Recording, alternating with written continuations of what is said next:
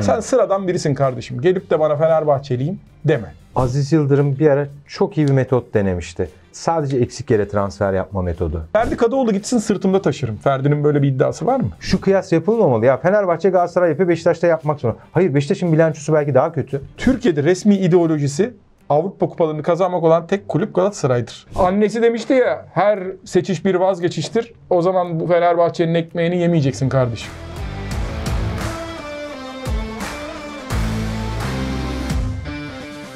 Herkese selamlar. Bir kez daha hoş geldiniz saygıdeğer izleyenler. Ee, kanalımıza abone olmayı, videoları beğenmeyi ve eğer ya sizin videolarınızı çok beğeniyorum, e, o yüzden de hemen izlemek istiyorum derseniz bildirimleri açmayı unutmayın. Vay be. Ben tatil yapınca bir şey gelmiş bana, enerji gelmiş. evet böyle bir ama şey adaptasyon da zorlaştı. Ne diyorduk burada abone olun mu diyorduk bildir. Ya işte, yapıştır. Devam. Ne haber Nasıl abi? gidiyor? İyi vallahi ya. Senin de bir şey rahatlamış gördüm ama böyle Abi, ihtiyacımız varmış tatile. bir şeydi değil mi? Galatasaraylılar Derneği'nin şeyi Ha, vardı. onların bir şeyi vardı. Bodrum Galatasaraylılar Derneği. Buradan da e, Can Kat Bey'e selamlar. Ya çok çok iyi bir organizasyondu. Yani dört dörtlük diye tabir edebilirim. Harika bir yerde yaptılar. Çok eğlendim. Suat Ateş Dağlı değil mi? DJ. Suat abi şey vardı. Zeynep Kaselini vardı. Hmm. Ondan sonra o da sahnesi ya bilmiyorum biraz Hoca oradaydı. Fatih Hoca oradaydı. Tabii Dursun Başkan geldi galiba. Dursun Özbek vardı. Ee, yani yönetim kurulundan bayağı kişi vardı. Senin fotoğrafını gördüm hocayla. Ne konuştunuz? Hocayla ya Nasıl? Ee, öyle bir espri vardı aramızda. ikimizin böyle sürekli gördüğümüzde birbirimize. Gör, Ha, bak bak. Hep onu şey yapıyoruz, konuşuyoruz tabii. Öyle ama hoca keyifliydi ya. İyi aman iyi olsun da. Güzeldi. Yani başımızdan eksik etmesin. Sen de abi neler yaptın anlat. İyi ben tatilde bol bol yüzdüm. Ee, onun dışında e, işte Wimbledon izledik. Hala devam ediyor Wimbledon.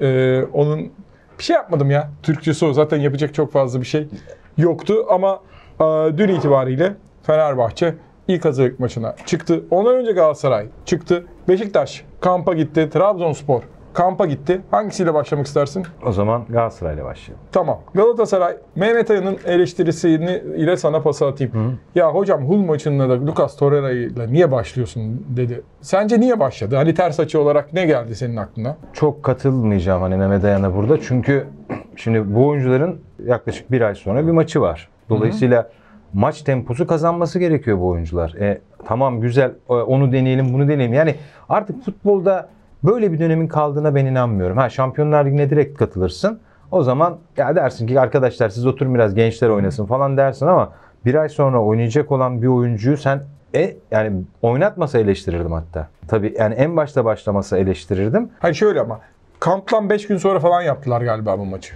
Ya ama yavaş yavaş o tempoyu bulmaları lazım. Ya maç temposu dediğimiz şey işte en önemli şey. Antrenmandan çok çok daha önemli bir şey. Ee, Ben dolayısıyla bunun çok doğru olduğunu ve hatta gerekirse ilk 11 bazında bütün maçlara e, ideal 11 bazıyla başlaması e, gerektiğini düşünüyorum. Peki e, Erden Timur'un basın toplantısı vardı. E, Ben öncelikle tebrik ederim Erden Timur'u. Bu kadar net e, her şeyi cevap verdiği için. Bu çok çünkü çoğu kişi tarafından riskli adlandırılan bir konu. Tabii. Hani şununla şu konuya geldik, bunda bu konuya geldik.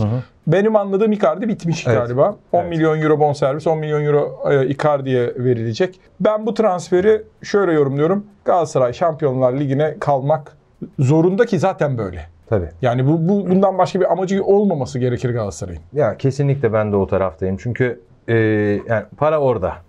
E, işin e, Ya bu transferlerin karşılığı orası. Karşılığı orası. İşin temaşası da orası. Yani çünkü ben bu saatten sonra camianın lig şampiyonluğu ile ilgili e, çok ciddi bir e, motivasyonu olacağını düşünmüyorum Galatasaray Ya 5 açısından. milyon euro 6 milyon euro zaten olsa yani olur? hiçbir şey yok maddi anlamda. E, manevi anlamda da Şampiyonlar Ligi müziğinin hazzı e, Tabii ki. muazzam bir şey.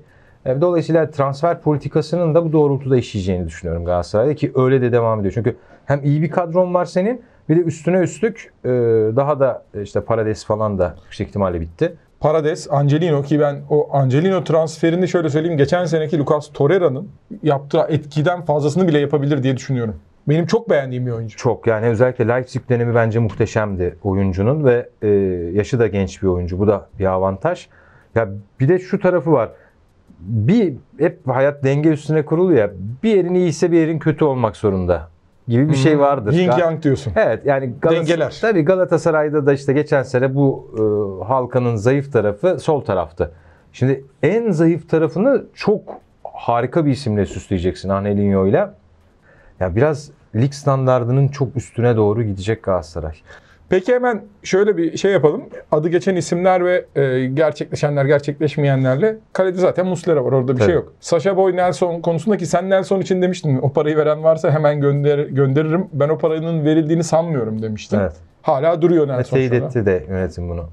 E, Sasha Boy O da şu an için. ilk Galatasaray. maça çıkar mı? Hoca da dedi ki ben zaten dedi değiştirmek istemiyorum dedi savunmayı. Tabii yani, yani o savunma hattı bozulmazsa bir de üstüne Angelinho gelirse zaten Su Abdülkerim zaten Nelson. Önlerinde Torreira olamayacak belli ki. Parades gelirse Parades Evet. olur. Ee, Mar- Mertens, e, Sergio, Sergio. Oliveira öyle çıkarsın. Ee, Rashica gelir mi o zamana kadar? Onunla ilgili de çünkü açıklamaları var Erdem Bey'in. Rashica ile de ben ilginin ilk başta azaldığını e, öğrenmiştim. E, istihbarat almıştım ama şu an Rashica'ya Galatasaray'ın e, bitirme noktası demeyelim. Hani onun muhabir arkadaşlarımız söylesin. E, Galatasaray da Rashica'yı istiyor ve ben alacağını düşünüyorum. Icardi çıkar mı? Şimdi ilk maçtan bahsediyoruz biz. Yani ilk Şampiyonlar Ligi ön elemesi ilk maçı. Icardi çıkar mı yoksa Barış Alper'le mi çıkarsın? Çıkar abi Icardi çıkar. Icardi çıktı. Kerem var zaten. Evet.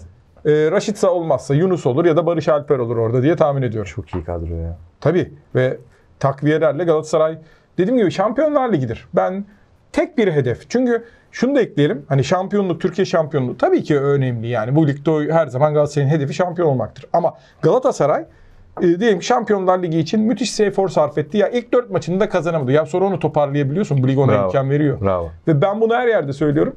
Türkiye'de resmi ideolojisi Avrupa kupalarını kazanmak olan tek kulüp Galatasaray'dır. Ali Sami'nin lafı var ya, Türk Doğru. olmayan takımları Yenmek, yenmek. Dolayısıyla Galatasaray bu Şampiyonlar Ligi'ne kalıp paradigmayı değiştirmek zorunda kendi adına. Şimdi sen konuşurken şu da aklıma geldi. Geçmiş dönemde belki transfer politikası olarak Aziz Yıldırım bir ara çok iyi bir metot denemişti. Sadece eksik yere transfer yapma metodu. Apyah'ı getirmişti. O sezondan bahsediyorum. Fenerbahçe zaten iyi bir takımdı. Sadece bir Apyah transferi olmuştu. Aurelio, Apya, orta çok saha az böyle bir. Ha. e, transfer Hayır, yani beraber evet, oynuyordular. evet. Yani Galatasaray'dan da şimdi bahsederken, düşünürken ya bu takımın en kötü yeri neresi? Sol tarafı, sol bek, Angelinho.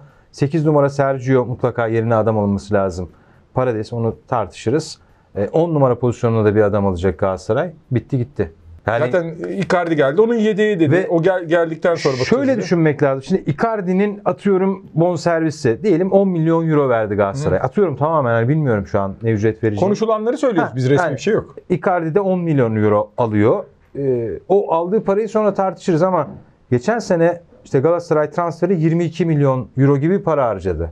E 10 Ica- Icardi'ye verdin. E diğerlerine de işte 6-7 verdiğini düşün. 7-7 bandında düşün. 10, 17, 24. Hadi bir 6 daha ver 30. Fenerbahçe geçen sene 42 milyon euro para harcadı.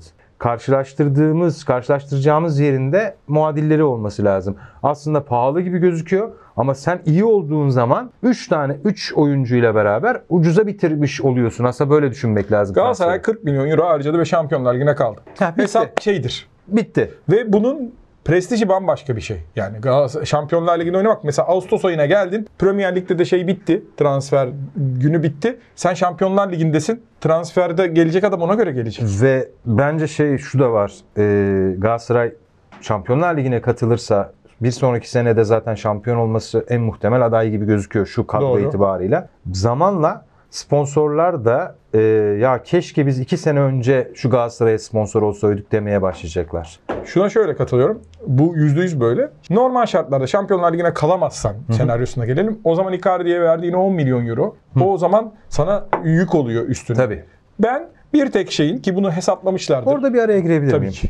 Şampiyonlar Ligi'ne kalamazsa Galatasaray 10 milyon euro yük kesinlikle doğru. Ligde de başarısız olursa senaryosunu gündeme getirelim bir de şu tarafından gündeme getirelim. Icardi olmadı.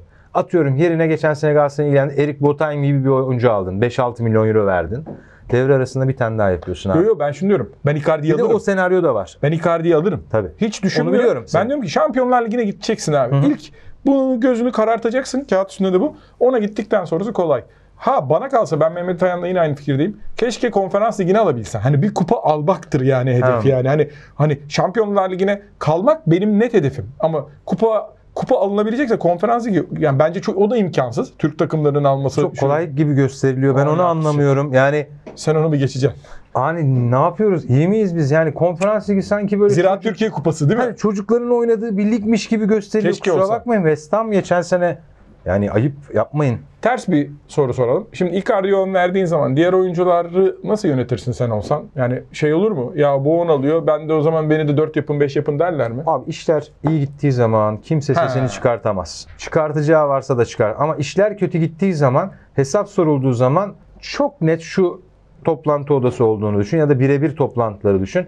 Ya hocam bana soracağına hocam derken işte başka Aha. birisi sor. Hocam bana soracağına 10 milyon euro ver- verdiğiniz adama sorun. Bu çok doğal. Yani bunu her firmada da e, yaşarsın. Yani iş hayatında da bu yaşanacak bir süreç. E, bunu, bunu yönetmek diye bir şey yok. Bak, bunu yönetmenin tek yolu başarılı Başarılı olmak. Harikasın. Başarı her şeyin tutkalıdır. Başarısızlık da her şeyi Bitti. parçalar. Fenerbahçe'de e, ilk maçını yaptı e, dün Zenit'le. E, enteresan olan şuydu. Zenit e, Süper Kupa maçına çıkacak 5 gün sonra. Fenerbahçe ilk maçına çıktı. Ben Fenerbahçe'de şunu gördüm ki bu soruldu İsmail Kartal'a. Oyuncular hakikaten artık çalışıyor. Hani her oyuncu o tatilde bireysel antrenman yapıyor. Yani kimse şeyi beklemiyor, kampı beklemiyor. Oyuncular mesela fiziken fena durumda değillerdi benim gördüğüm. Jesus Ki bu kadro üzerinden çok özür dilerim. Sözü sana öyle vereceğim.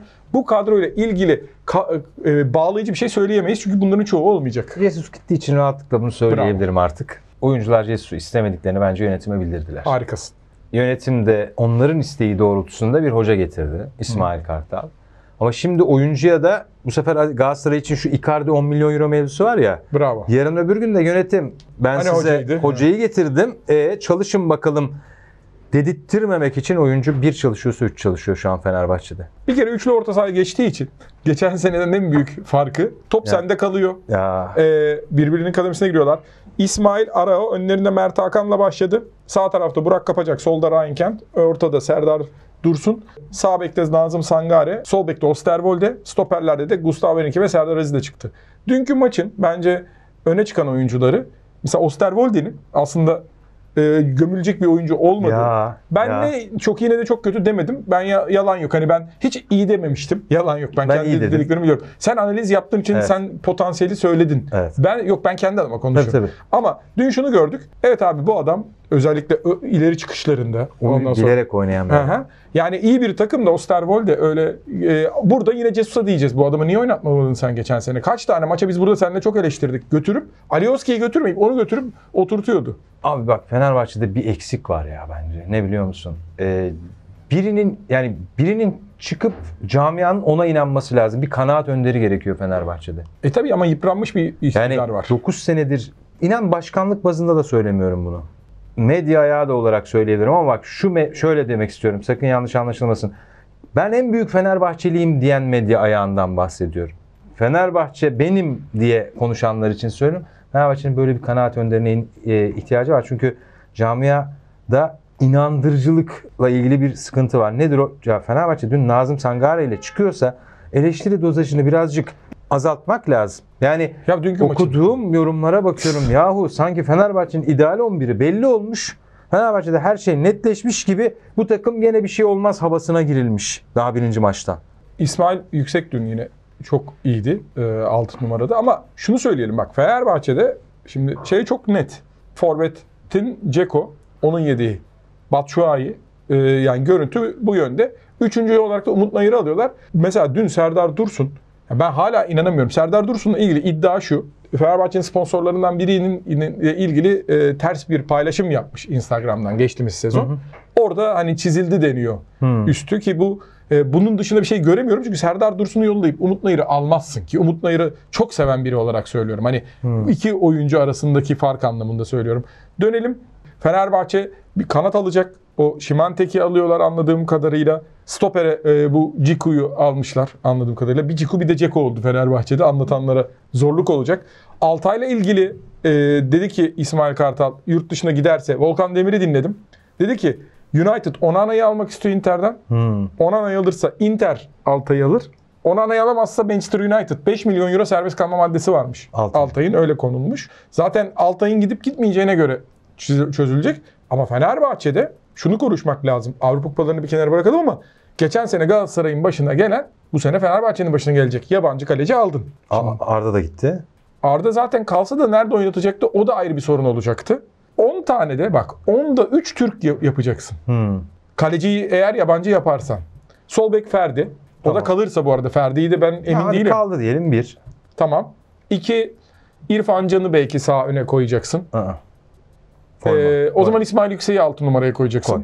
2 İki.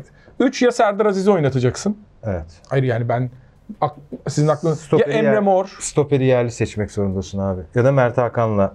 ya da Mert Hakan'ı koyacaksın. Bak Mert, İrfan, İsmail Yüksek, Serdar Aziz Hı hı. ya da İrfan Can Kahveci'yi koyacaksın kaleye. Zor bir denklem Türkiye'de oynatırken. ama Altay'ı Ya da Mert Müldür'ü alacaklar mesela ki ben Mert Müldür konusunda yine üstad var burada. Estağfurullah abi, yok, yok ya. abi biz işimizi biliriz. Ben geldikten sonra yorumlarım. Uzun süredir oynamıyor. Buraya intibak edecek. O Samoy'u beğen beğenme ama kattığı bir şey var oyuna. Kesinlikle, kesinlikle. Bütün bunları düşününce enteresan. ya tabii düşük bir ihtimal gibi ya bence Altay'ın şu an yurt dışı yapması.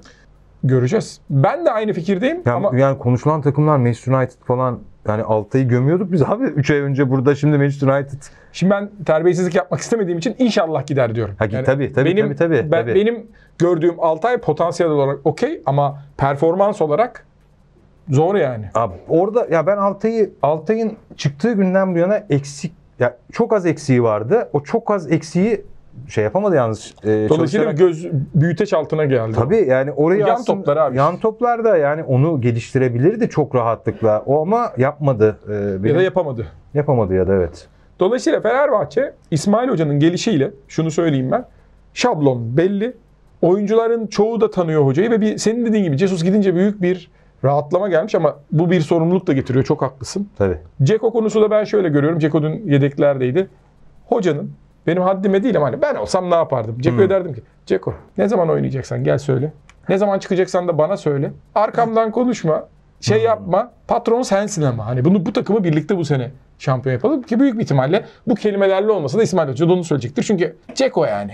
Ya çok çok zor bir şey ama şey sen yine konuşurken aklıma şu geldi.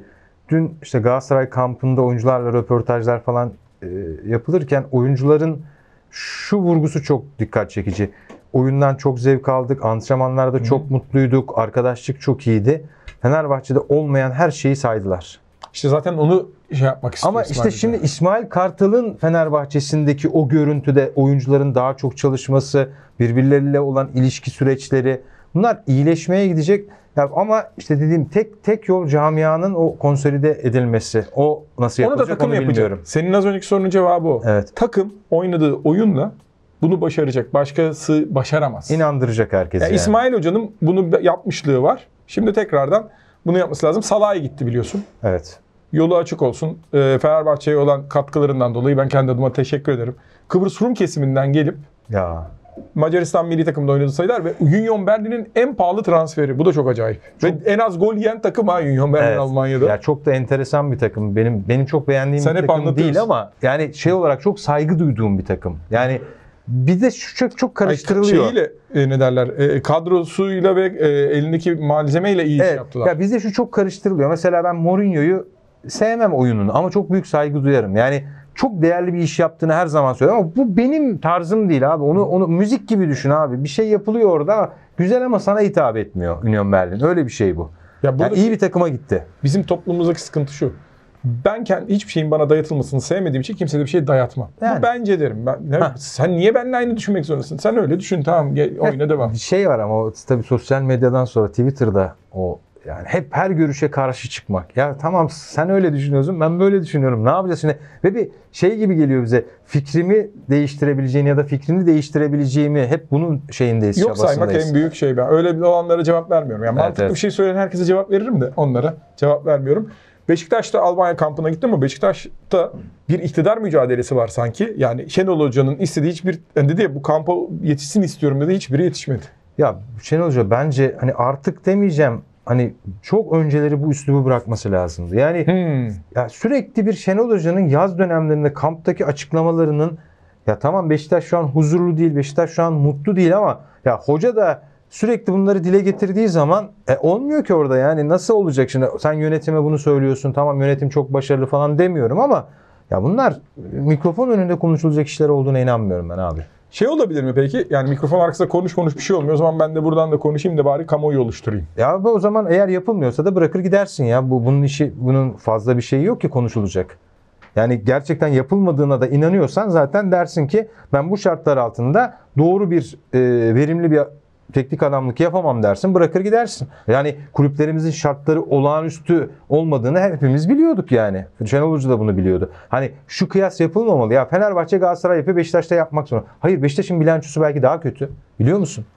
Fenerbahçe ile Galatasaray'ın şöyle bir olayı var. Galatasaray geçen sene şampiyon oldu. Ee, Fenerbahçe'de geçen sene e, UEFA Avrupa Ligi'nde e, son 16'ya kaldı ve Fenerbahçe hakikaten oyuncu satışları vesaireyle yıllardır Ya- bir noktaya geldi ve şimdi de ki. fair play şeyi de yok Fenerbahçe'nin. Ee, o Ee, şeyden de çıktı, denetimden de çıktı. Abi o, o koltukta oturmak o kadar kolay. Ben Çebi'nin çok başarılı falan olduğunu söylemiyorum ama e, Fener, yani Galatasaray'ın geçen sene elde ettiği gelir, Fenerbahçe'nin her şeyden önce Fenerbahçe eşittir Ali Koç. Bitti. Bravo. Ne diyeyim artık yani senin Ali Koç'un yoksa burada fazla yani aynı yere koymaman gerekiyor Sen diyorsun ki mali açıdan. diyorsun ki mesela burada iki tane yön var. Bir, ben şey diyorum. Niye Şenol Güneş'i getirdiniz istediklerini yapmayacaksanız? Ve madem Şenol Güneş'sin bunu sen görürdün. Neden geldin o zaman? Evet abi iki, iki taraftan da bak ben, ben şeye karşıyım abi yani bir kurumda e, çalışırken o kurumun başındaki ya da çalışanlarını zor duruma e, sokacak açıklamalar. E, Fatih Portakal'ın en son düştüğü durum işte. Yani ona benziyor. Yani yapmayın abi. Kendi içinizde halletmeye çalışın bazı şeyleri. Ben biraz kol kırılır yen içinde kalır tarafındayım. Eyvallah. Ee, Trabzonspor'da da basın toplantısı vardı. Oradaki e, Erdal Uş'un sorusunu ben altını çizeceğim. Dedi ki ne olursa hoca başarılıdır. Başarı kriteriniz nedir Çok diye. güzel soru. O da iyi bir futbol oynaması ve umut vermesi bizim için yeterli dedi. Çünkü şimdi Fenerbahçe Galatasaray böyle kadrolar kurmuş. Ve Beşiktaş da iş illaki bir noktada harcayacak. Trabzonspor eğer kendine bir sıralama hedefi koyarsa onun altında kalabilir. Ve ben Ertuğrul Doğan'ın açıklamalarındaki bizim şu kadar giderimiz var. Buna bunu, da kattığımız zaman 1 milyar lira bizim yıllık açığımız var demesi. Bu çok değerli. Yani bakın durum bu. Bunun üzerinden değerlendirin demesini gerçekçi buldum. Valla aslında Trabzonspor dört büyük kulüp açısından en şanslı olan takımdı. Bundan 3-4 sene evvel. Evet. 870 milyon falan borcu vardı. Evet. Yusuf Yazıcı'yı gittiler Bravo. 19-20 milyon euroya sattılar. Ee, ama sonrasında izlenilen politika yine borçlar artmaya başladı. E, kur farkı da bunun üstüne Hatta geldi. şey de ekleyelim başkanlık en büyük şeyimdir. 15 falan da Abdülkadir'e vardı. Hani 50 milyon euroyu neredeyse yani çıkaracaklardı. sen borcunun yarısını aslında bitirecek duruma gelmişken orada işte şampiyonluk sonrası harcanan para her şeyi e, Şimdi yeniden bir yapılanma içindeler. Ya o da bir maliyet. Yani camianın o enerjisini ben iyi almıyorum yine. Peki videonun şimdi en çok izlenecek bölümüne gelelim. Arda Güler'in Real. Madrid'e gidiş ve basın toplantısı hakkında ne düşünüyorsun? Yüzün güldü hemen. ya muazzam bir şey ve nasıl tarif edilir bilmiyorum ama o, o çocuk şu an nasıl uyuyordur? Hı hı. Yani sürekli bence şöyle bir şey oluyordur. Kendine sürekli hatırlatıyordur. Evet ya ben ilk çocuğum olduğunda ben bunu hatırlatmıştım kendime. Ya kucağıma bir bebek verdiler. E sonra işte bebeği tekrar annesine veriyorsun. Eşime verdim. Ondan sonra işte o hastanenin orada dolaşıyor. Aa, artık benim bir çocuğum var. Artık benim bir çocuğum var. Gece yatıyorum artık benim bir çocuğum var ve anne gibi ise hissedemiyorsun. Arda Güler de evet artık ben Real Madrid oyuncusuyum diyordur. Bu çok kabul edilebilir bir şey değil. Çünkü düşün bir sene öncesine kadar işte bir buçuk sene öncesine kadar akademide herhangi bir adamken hı. bir buçuk sene sonra çok az bir zaman zarfında Real Madrid şimdi İspanya'da dolaşıyorsun herkes sana bak gülüyor falandır yani böyle artık kendi kendine. Gülmemek için zor tutuyordur çocuk kendini. Peki. Çok tuhaf bir şey. Ben Ama- sana söyleyeyim o zaman. Bir ben bir kere öncelikle Fenerbahçe taraftarına akıl vermeyi bırakın kardeşim. Gurur duyun. Yok işte 30 milyon euro vermiş. 30 milyon euro vermiş değil mi? 30 milyon euro da bir kere o da palavra 20 milyon euro ya. Her 25 ma- maç oynadığında 2 milyon euro olacakmış. 125 maç oynarsa 10 milyon euro oluyor. Senede 25 maç oynadık. Öyle. Yok Ha. süre yok. 6 Ha. senede 125 maça çıkarsa Real Madrid formasıyla orada 10 milyonu tamamlayacak. Hmm. Ee, Volkan Demir'den duydum. Yani 30 milyon euro param yok. Sülalemin de olmadı ama ben kendimi satarım 30 milyon euro bulurum. Kimseye de parası için ezik kalmaya, kalmayız yani. Hani şey vardır ya e, Münir Özkul'un Yaşar Usta gibi beyefendi al sen o paranı da git derler ya. Arda Güler'le ilgili söyleyeceğim şudur. Sen bu kadar Fenerbahçe goy goyu yapıp Fenerbahçe'nin ben Metin Oktay'ım gibi davranıp ondan sonra gidiyorsan sen sıradan birisin kardeşim. Gelip de bana Fenerbahçeliyim deme. Sen, sen düne kadar Barcelona'ya gidiyordun. Ne oldu? Bir günde Deko geldi ayağına. Niye? Çünkü seni buraya kiralık vereceklerdi. Ya bu kadar insan sana yalvardı. Kal da Fenerbahçe'de bir sene daha şampiyon yap diye. 87-88'de Fenerbahçe çok kötüydü. Rıdvan Dilmen o zaman sırf onun için ben giderdim. Maçlara 30 bin kişi giderdi. Rıdvan Dilmen o sene Fenerbahçe'yi şampiyon yaptı. Bir daha da başka hiçbir şey oynayamadı. Çünkü sakatlıklar vesaire. Ama Rıdvan Dilmen Fenerbahçe tarihinin en önemli Türk oyuncusudur. Benim izlediğim dönemde. Bence yani de. Can Bartuları, Refterleri karşılaştıramayız elbette. Selçuk Yulay'ı, Cemil Turan ama benim izlediğim dönem. Çünkü Rıdvan Dilmen o takımı şampiyon yaptı. Arda Güler ne yaptı? Hep her şeyi ayarlamış. 17,5 milyon euro olmazsa imza atmam. Yok işte şu kadar oynatırlarsa ben giderim. Senin için bu kadar insan araya girdi. Seni aramayan kalmadı. Sen ben gideceğim. Yolun açık olsun. Real Madrid'den de seni Leverkusen'e kiralık verirlerse yok ben kiralık gitmeyeceğim falan diyorsun. Sakın şey yapma yani sonra çıkıp da Leverkusen dünyanın en büyük kulübü deme. Şunu da söyleyeyim ne diyor orada? Fenerbahçe taraftarı kusura bakmasın dünyanın en büyük kulübüne geldim. Kusura bakma sen zaten Fenerbahçeli zaten değilmişsin. Bugün bir Fenerbahçeli çıksın desin ki bana dünyanın en büyük kulübü Fenerbahçe Real Madrid'dir. Kusura bakma Fenerbahçeli değilsin. Dünyanın en başarılı kulübü Real Madrid dersin ama dünyanın en büyük kulübüne geldim dediğin an ben de derim ki Kemal Sunal'ın filmlerindeki gibi o zaman yarın da dünyanın en büyük kulübü senin için Leverkusen olmasın dikkat et Arda derim. Çok Ya. çok sert. Ya. Ya Yani- annesi demişti ya her seçiş bir vazgeçiştir. O zaman bu Fenerbahçe'nin ekmeğini yemeyeceksin kardeşim. Sen sıradan birisin. Hiçbir şey başarmadın. Hiçbir şey başarmadın. Paranla da sen o zaman yani neyse bel altına girmeyeceğim için başka şeyleri söylemeyeceğim ama paraysa ben veririm o parayı. Ya ben bulurum ya. Bak yemin ederim benim gibi bir milyon manyak bulurum. Adam başı 3 euro koyarız. 30 milyon euroyu veririz. Sen daha 10 milyon euroyu da getirmedin. Biz 30 milyon euroyu koyarız o masaya. Seni ilk defa böyle gördüm. Ben Fenerbahçe taraftarı adına konuştum bunu. İlk defa konuşayım. Yeter insanlara da akıl vermeyin. Herifler şöyle Yani İnsanlar hayal kırıklığı çok kötüdür. Bak Kader filmindeki Bekir her şeyden vazgeçmiştir ve der ki her şeyin herkesin inandığı bir şey var bu dünyada benimki de sensin der. E, Fenerbahçe taraftarı da ya daha ne kaldı adamların başına gelecek yani. Bunu dediğin zaman daha kötüsü geliyordu demeyeyim ben. E, 9 sene şampiyon olamamış. Sen bir kahraman olarak çıkmışsın ve o o gün itibariyle gidip diyorsun ki dünyanın en büyük kulübüne geldim. Hadi kardeşim bekleme yapma o zaman tezgahın önünü kapatma derler. sen Ya. Arda Güler'i çok sevmişsin. Onu söyleyeyim. Sağ ol. Yani Aşk doktoru Evet. Serdar'la birlikteyiz. hani o güzel. Ben değil. Ben Fenerbahçe taraftarının şeyinden Yok bahsediyorum. ben kesinlikle bu arada duyguların da işin içine Yoksa girdiğini- profesyonel futbolcu olarak çok doğru Yok, iş yaptı hayır, kendi adına. Şu anda tabii beni şaşırtan şey sadece şu oldu. İlk defa ben Cüneyt Kaşeler'i böyle bir e, şekilde yorum yaparken gördüm ve bunu asla hani kötü olarak bahsetmiyorum ama çok da güzel anlattın aslında. Çünkü ikna olduğum tarafları çok fazla. Şu tarafı var değerli. Aldatılmış gibi aslında hissetti Fenerbahçe taraftarı demek istiyorsun. Yani şu ortada bir aşk olduğunu zannediyorum Ya 8 Fenerbahçe yaşından beri taraftarı. fotoğraflarını koymuşsun Evet, oraya. Yok evet. babam Fenerli, dedem Fenerli, büyük dedem Fenerli, Kundak'ta- Kundak'ta Fenerliymişsin. Öyle olmuyor bu işler. Yok. Sen Ferdi Kadıoğlu gitsin sırtımda taşırım. Ferdi'nin böyle bir iddiası var mı? Kim Mince, Salahi, Bogdan Bogdanovic. Bak bunların hepsinin elini öperim ben. Onlar çok büyük adamlardır. Lefter'le Can da gitti ama neler. Metin Oktay gitti ya. Nasıl ağlayarak gitti. Ağlayarak. İnsanlar para toplayıp getirdi. O da Evet. gelmek istiyor. mektup yazdı Galatasaray'a. Ya işte bunu diyorum. Büyük olmak yani bayrak olmak farklı bir şey. Sen sıradan olmayı seçtin. Tabii ki senin hayatın. Burada dürüstlük vesaire o kavramları da işin içine gir- sokulması lazım. Yani Fenerbahçe taraftarının aslında orada ortada bir aşk var ve orada aldatılmış, aldatan taraf sanki Arda Güler gibi oldu. Ben 245. dönem Asteğmen yaptım. O zaman Amerikan ordusundan bana teklif geldi. Dünyanın en büyük ordusuna gidiyorum mu deseydim. Neyse. Ya çok güzel güzel ifade ettin aslında. Şunu katmamız lazım. Ee, çünkü 30 yıl ya bir Rıdvan Dilmen'den sonra herhalde yetenek anlamında Bravo. iki oyuncu, Oğuz Çetinler vesaire bunlar çok önemli Bak onlar oyuncular. hep gerisinde kalır Rıdvan Dilmen'in. Şeyde Fenerbahçe taraftarında. Evet. Ama eğer 30 senede bir geliyorsa da birazcık duyguların da işin içine girmesi çok doğal bir süreç ve burada Fenerbahçelilerin rasyonel düşünmesi de çok beklenmemeli onu da söyleyeyim. tamam işte ben bundan bahsediyorum. taraftarın tamamen rasyonel ya kardeşim günümüz çağında takım mı ka- kaldı? Kalmamış ol- olursa da şöyle yapacak futbolcu 15 yaşındayken de 17 ya da 19 yaşındayken hayat her şeyi gebedir. Dolayısıyla ben bugün Fenerbahçe'deyim, yarın başka bir yerde olabilirim açıklamaları yapan bir oyuncu olsaydı dediğin gibi şu an hiç eleştirilmeyebilirdi ama 8 yaşındaki Alex Posteri vesaire onlar işine gir, için içine girdiği zaman ve 17 milyon euroyu o serbest kalma maddesinde yazdırdığın zaman biraz orada sorgulanırsın. Ama Biz- yaş çok küçük.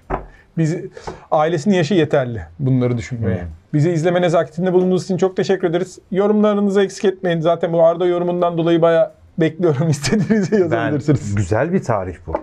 Yani ya şey var abi duygunun için içine girmemesi gerektiğini düşünüyoruz ama bilgi de duyguyla süs- süslenen bir süreç yani. Öyle bakmak lazım her şeye.